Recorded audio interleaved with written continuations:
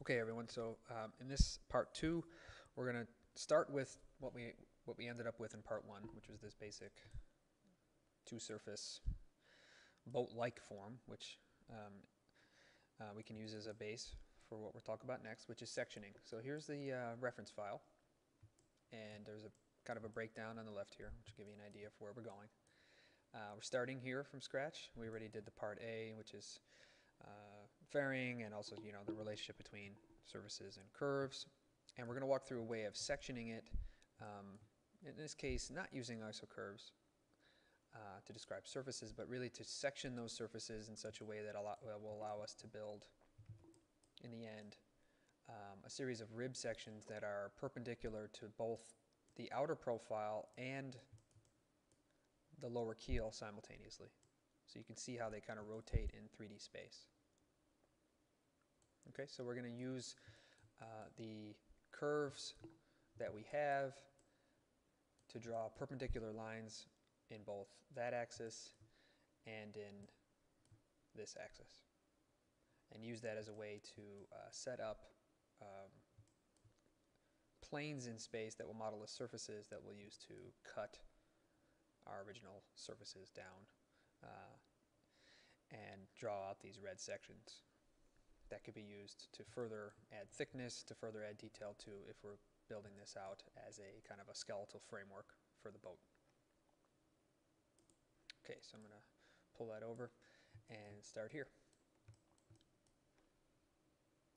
Okay, and a, a, good way to start this, I guess, is to turn off our surface layer. Let's not look at that right now.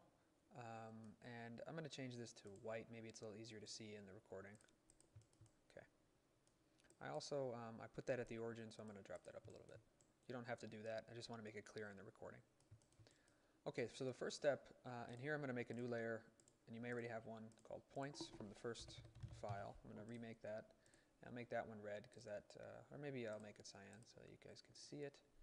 And the first thing I want to do is divide the keel line uh, a number of times to set my even spacing throughout, which will become my rib sections, or at least the locations for my rib sections.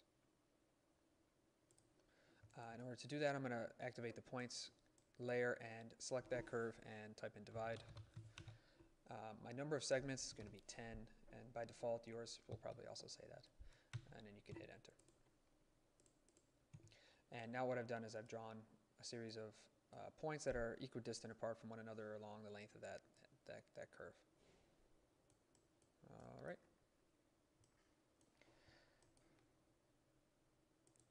Okay, and now I've gone ahead and I've renamed my default layer construction. You, again, you probably already have that, and, and for the sake of clarity, I've got it on a cyan color.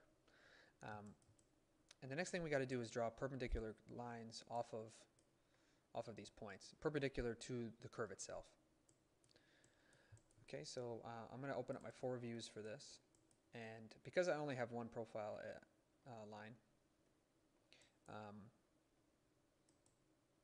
I can do this in 2D. So I'm going to type in line in the command line, and I'm going to click perpendicular up at the top to activate that as an option. And then I'm going to click on one of these points, uh, for, starting with the first one, and then you can go up top and hit from first point, or you can just type in F and spacebar. Um, that will allow you to snap in a perpendicular direction from that specific point along that curve. And I'm just going to draw these out as arbitrary lengths. And I'm going to repeat the process. So line, perpendicular, select your next point, F, spacebar, arbitrary length, and keep going making sure that each point or each line that you're drawing is perpendicular from the curve at the, at the div division point that you've drawn in the previous step, like so.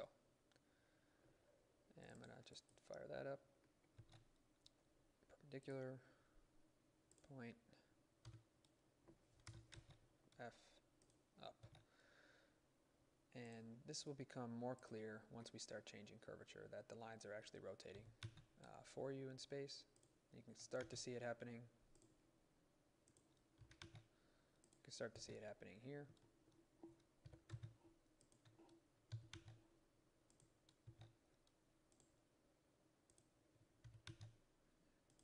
And there we go.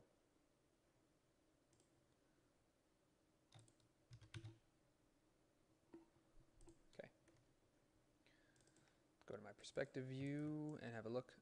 And you can see now we've drawn our perpendicular curves. Um, now I'm going to set up a new layer. Um, well, I, I suppose I can use the surface layer for this. That's probably okay. You can also set up a new layer for construction surfaces because we're going to use these as kind of cutting planes. You can you can set up a cutting plane layer. Um, for the sake of time, I'm just going to go ahead and use this. Oh, looks like I got some some stuff that I got to fix. Hang on. Okay, that that is now updated. Uh, in fact, I, I will set up a new layer, so I'll go to New and cut the, call this Cutting Plane. All right, cool. And activate that layer, and then we can just extrude these. We can just extrude those lines in two directions. So I'm going to type in extrude, curve. That's the curve. The direction is going to be, um, just in case, you can set that to your y-axis if your boat's modeled along the x like mine, and then hit both sides up top, click that, and make sure you're drawing these out in a, to a distance that's at least wider than the width of your boat. And we can go ahead and carry that out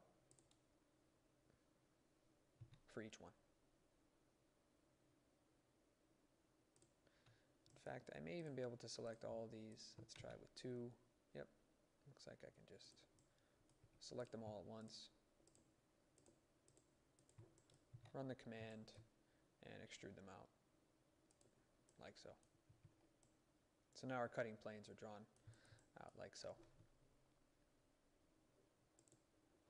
Okay, um, I'm now going to set up a new layer, call it sections, and I'll make this one red so that we're clear about what we're drawing. And then I'm just going to use these, and I'm going to turn on those surfaces uh, that we turned off previously. And now I'm just simply going to run the intersect command um, between the surfaces and the cutting planes. You can also run the section command, and you can run that, well, no, sorry, you cannot run the section command because um, that works in orthogonal directions. So in this case, we'll have to use intersect uh, to do that. And I'll, I'll show you the slow way and the fast way. So I'll type in intersect first, and then the objects I'm going to intersect are first the poly surface, and then, you know, all of those there. And the result now is the sections being drawn. And if I turn off my cutting planes, you can now see that I've got a series of construction lines that I can use to build in some thickness um, that are at least, in this case, perpendicular to the keel. So those section lines are perpendicular. So if this were a board of material or a, you know, a, let's say a CNC profile or something like that, or if it had, you know, a little bit of width to it, you can set them up so that they're perpendicular to the keel and develop your notches so that everything is, is nice and tight. Um, and none of that has to be guessed. That can all be derived from the model. Um, another way to, um, just to kind of quickly uh, show you another way of doing that, I'm just going to control Z this. You, you don't have to follow this part necessarily, but I did want to just talk a little bit about selecting. In this case, it's not such a problem to make the selections like we did before, but in some cases, it's hard to select certain thing, um, number, uh, a large number of items in a more complex model. So let's run the intersect command, and then when it says objects to intersect, um, I can type in SEL, and in this case, um, SRF and that's going to select all of my surfaces on screen. The other way I could have done it is um, run the intersect command and then type in S select layer, SEL layer. It's going to ask you which layer you want to select. We can select cutting planes. And then for the, uh, the other objects, I can type in SEL layer and just select my surfaces. So again, this is pretty useful uh, if you have um, a lot of things on screen and you're kind of getting your selections mixed up. And now what we, we're able to do is just draw, draw it that way instead of having to manually select. Okay, so just another little trick as I go here. As a, that's a bit of a tangent, um, but you get the idea. I'll turn those cutting planes off and head back to where we were before. Uh, there's one more thing to do before we go into the next step here. And um, that we can turn off our surface layer for this. And we, we have to make sure that it looks like they are. Okay. Yeah, actually that, that won't be a problem. Right, so the, the keel won't be a problem. Let's turn on our cutting planes. What we got to do now, though, is divide these profile curves into new points um, that exist along the exact same plane as our cutting plane. So a simple divide won't do that because we're going to use the because these angles in space aren't going to coincide to a divide command. Um, so what we can do is now run the intersect command once again and I'm going to select points. Uh, sorry about that. Just uh, turn on my points layer, and I'm going to run intersect. And now I'm going to select the cutting planes and the top profiles. And that's going to result in a series of points um, at the ends of those surfaces. Of course, you could have done this manually just by clicking, you know, drawing the points manually as well, but it's a little bit slower. Uh, and that's crucial now because that's the that's what we've done is establish the first axis for our, um, our structural ribs, and I can go to my reference to show you. The next part is to establish the second axis, and we're going to do the same process, but now from the profile, from the top profile. To find an intersection, which will then allow us to draw our, our sections perpendicular to two different axes in 3D space. Okay.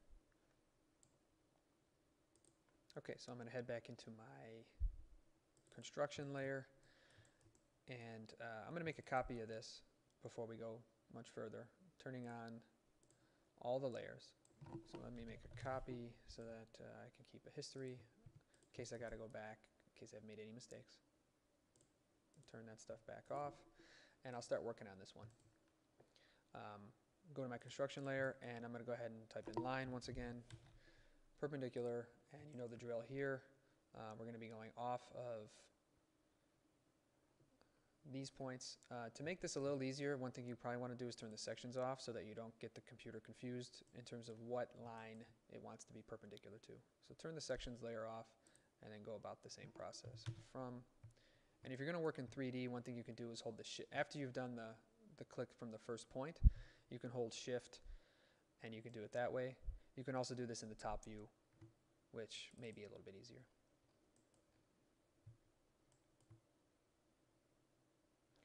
Um, or not. Uh, in this case, I'm going to run the, I'm going to run this out in the perspective view, and I'm going to go past the center point because I'm going to need to find that intersection later. Okay, so go ahead and go through that process. Line, perpendicular, click a point, hit F, en uh, enter, and then hold Shift, click out. Okay. From first, hold shift, click out. And you can go ahead and do that as I as I work here.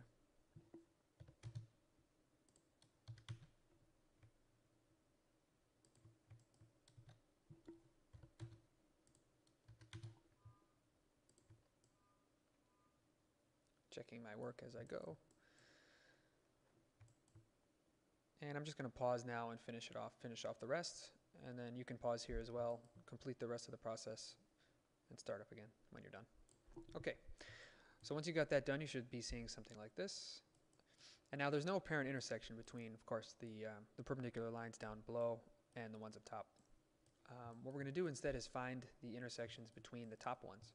So I'm going to take all the ones I just drew up at the top here and select those. And then I'm going to mirror them around from the tip point like this and so I'm finding this. Um, on my points layer, I'm then going to find an intersection between all of those and themselves, and basically where they intersect. Okay, so I'm just going to select all those top profiles. Uh, not profiles, I'm sorry about that. Just the uh, these construction lines. Type in intersect, and um, you'll find an intersection point where they uh, intersect in space. Now, of course, down here it's going to be a little trickier because uh, these are directly in line with one another, so that's not necessary. These two should actually intersect. Uh, let's find out. It looks like they do, but actually, um,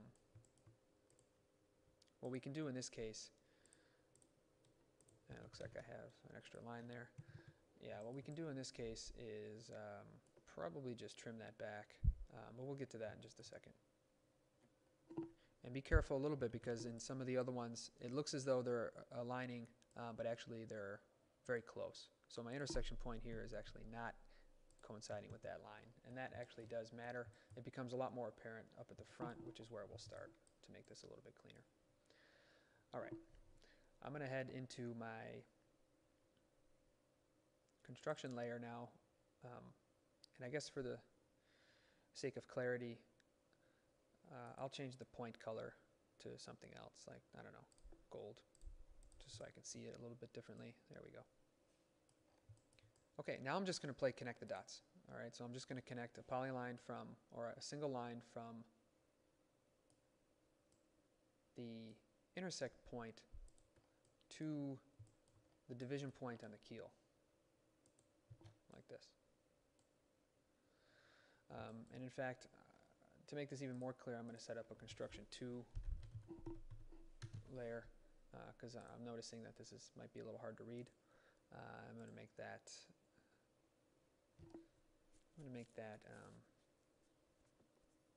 what's a good color here? Green, probably. You can see that pretty easily, maybe even magenta. There we go. There we go. So I'm just going to connect the dots that coincide to one another like this. So that will connect here. This intersection down to, to there, and down the line. Okay?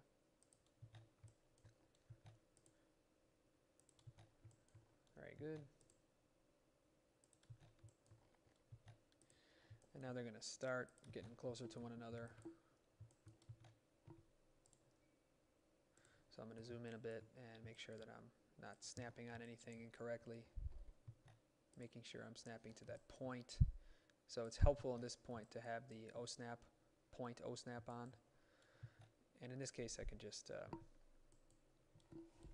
trim this back because these two actually connect.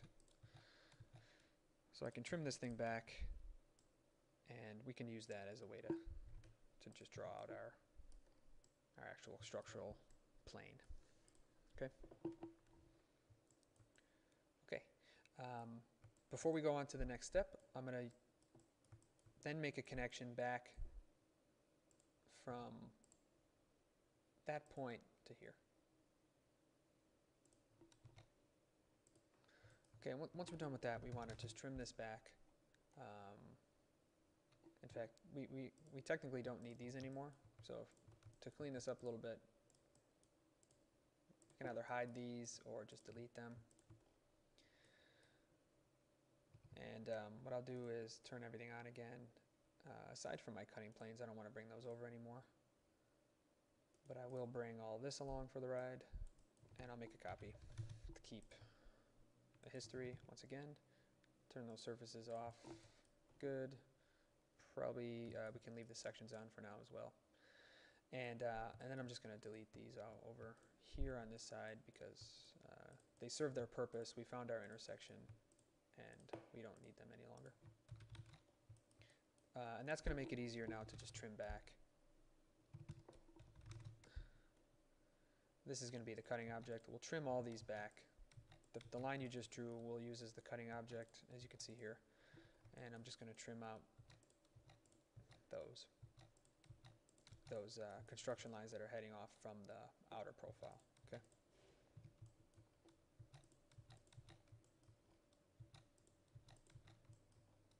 And that'll make sense in the next step. Okay, so there we go. We're all set here. And um, now's a good time to make a new cutting plane layer. So we'll call this cutting plane 2. Um, and I'll change the color to just distinguish between the two of them. Turn on the cutting plane layer. Uh, yep. And now what we're going to do is a set of extrusions from this line in this direction. Okay? So I'm going to change that again to, to a different color. Uh, type in extrude, curve. That's the curve I'm extruding. It's the perpendicular direction off of there. off of the outer profile. The direction, now once we set that up, it's gonna ask for a direction. And by default, it's gonna go up and down in orthogonal view in the Cartesian coordinate system. So we don't want that, we're trying to draw this in 3D. So we go up to the top of that command, click direction. The base point of that direction is this intersection point we found earlier. The second point is gonna be anywhere along that line I just drew down back to the keel, like this. That's gonna set my direction down. And I'm just gonna click down at the bottom at the point at the keel. You can see now that what I've done is I've drawn a plane, a cutting plane that we can use uh, in a perpendicular direction both from the keel, we can see that uh, here, but also from, in this view, from the outer profile. This is going to be useful to set, um, this is I can actually use now um, against my surfaces to draw out structural planes. And I'll get to that in just a second. So before we do that, let's repeat the command. and Let's go through it one more time. Hit direction, D, set the direction.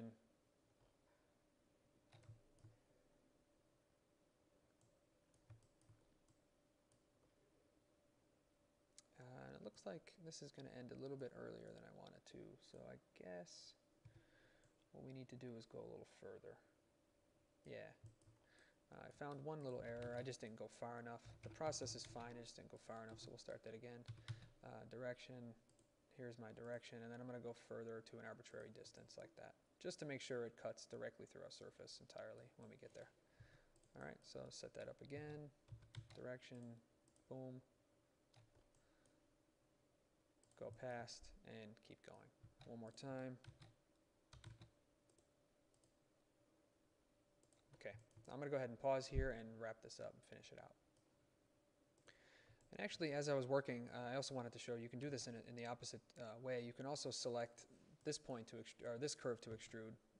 The direction could be the other line, and that is probably a bit of a cleaner way of working um, because now we have curves or surfaces that we don't have to set to an arbitrary length. We could just simply snap directly to that point. And now that I remember, uh, if I remember correctly, reference file uh, does it in that way, as you can see here. And, that, it's okay either way is fine so long as they go past and intersect. So I'm just going to um, repeat this process one more time to extrude this one instead, set my direction, and then just go ahead and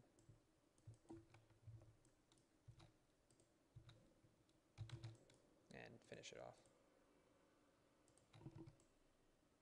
And some of them are still kind of coming out in oblique. Um, so I guess either way you do have to extend them past. Uh, I just wanted to show that there's an, you know, an alternative here and both will work. Because really all we're doing is drawing cutting planes, nothing really too specific. All right.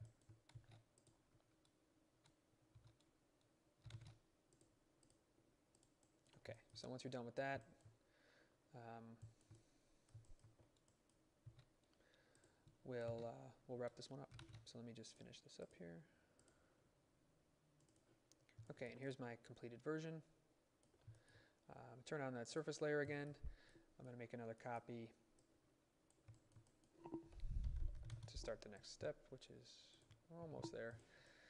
Um, and now, um, you know, again, uh, boat-like forms, not necessarily boats, um, but just to give you an idea of the relationship between, in this case, surface a framework, the surface, developing a new framework to make a structure and deriving all of that so that it all has a relationship together, kind of creating a, a relationship between all those things. And uh, there's a couple things we can do here.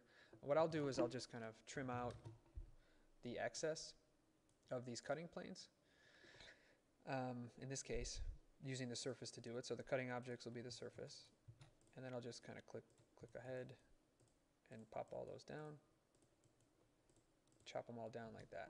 So if for whatever reason you wanted these kind of, if this was going to be the way that you were going to structure this surface in particular, um, that's a good way of doing it because now each one of these planes is perpendicular to the surface at those sections, which means if you've got material thickness here, you can go ahead and drill in and screw in your detail um, or create at least a perpendicular detail and a fastener that runs perpendicular from the surface into your structure.